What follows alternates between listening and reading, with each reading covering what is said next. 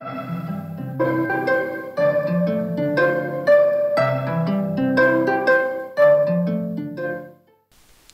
Scarecrow's Wedding by Julia Donaldson and Axel Scheffler. Betty O'Barley and Harry O'Hay were scarecrows. They scared lots of crows every day. Harry loved Betty, and Betty loved Harry. So Harry said, Betty, my beauty, let's marry. Let's have a wedding, the best wedding yet. A wedding that no one will ever forget. Betty agreed, so they hugged and they kissed. Then Betty said, Harry dear, let's make a list. Just as you say, answered Harry O'Hay. So they wrote down the things they would need on the day a dress of white feathers, a necklace of shells, lots of pink flowers, two rings, and some bells. Then Harry gave Betty O'Barley his arm, and the scarecrow set off on a hunt round the farm. They hadn't gone far when they spotted some geese. Oh, geese, if you'll give us a feather apiece, you can come to our wedding. The best wedding yet. The wedding that no one will ever forget.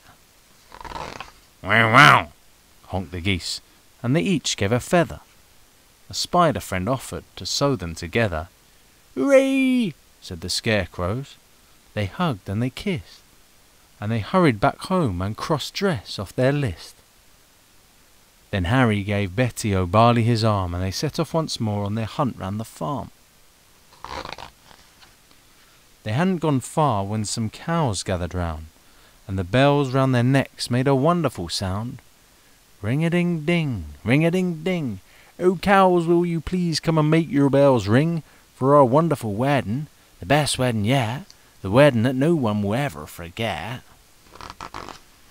Yes, mooed the cows. we can tinkle our bells. Then a crab scuttled up with a necklace of shells. Some mice found two rings in a bin. They were certain the rings had belonged to an old farmhouse curtain. Hooray! said the scarecrows. They hugged and they kissed. Pink flowers are the only things left on our list. Then Harry said, Betty dear, I can find those. Why don't I pick some while you have a doze? Pink flowers, pink flowers, buzzed the big stripy bee.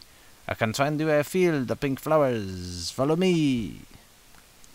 So the bee led the way, and they travelled for hours, till they came to a field full of pretty pink flowers.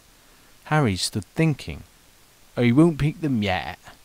I'll need to find water to keep their stalks wet.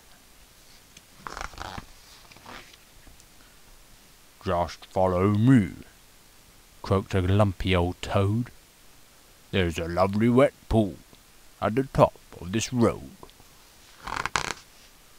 They climbed up the road. It was terribly steep.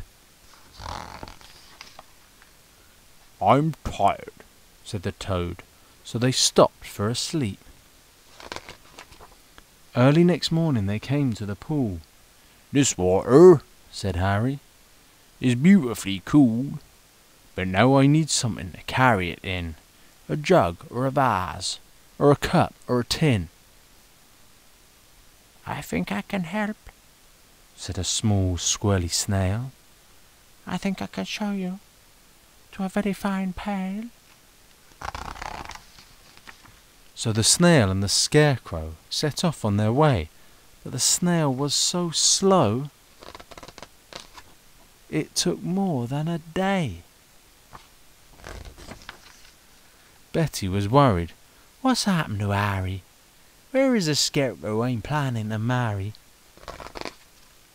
The farmer came by with a frown on his face, and he made a new scarecrow to take Harry's place. Good day, said the scarecrow. I'm Reginald Rake. He took Betty's hand and he gave it a shake. Together, he told her, we make a fine pair. You're really quite pretty, apart from your hair. Then he jumped in the tractor and told her, Hop in, I'm a really fast driver. Let's go for a spin. But Betty said, No, I must wait here for Harry. He is a scarecrow I'm going to marry.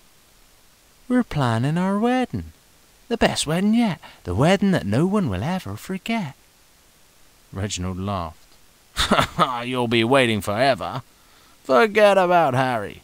I bet he's not clever. I must be the cleverest scarecrow alive. I can sing lots of songs. I can dance. I can drive. I'm dashing. I'm daring. I'm cool as can be.